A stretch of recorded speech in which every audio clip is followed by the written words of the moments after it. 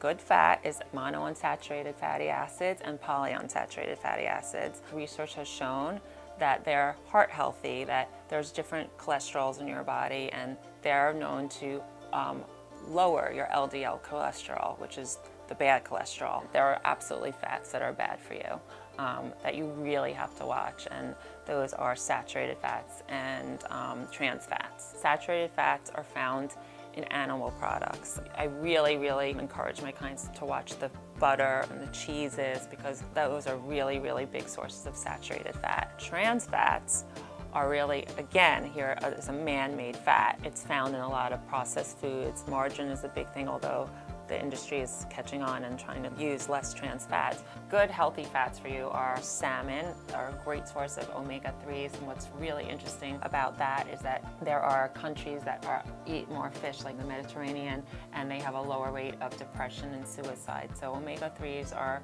really, really um, important for your brain and they're also important for your heart. Olives also a great fat to incorporate into salads. Like I always say, just because they're healthy for you doesn't mean that they're limitless. It doesn't mean you can go crazy with olives or olive oil. You still have to have the appropriate portion in your diet. Avocado also, that's a, that's a very healthy fat that contains monounsaturated fatty acids as well. A lot of people can put this whole avocado into their salad and that would be a lot of fat and a lot of calories. Just be cautious of that. Just because it's good doesn't mean it's limitless. You need fats in your diet. There should not be a, such a thing as a fat-free diet if you're eating foods like salmon and like the chia seeds and like nuts and avocados, you are getting a sufficient amount of healthy fats in your diet.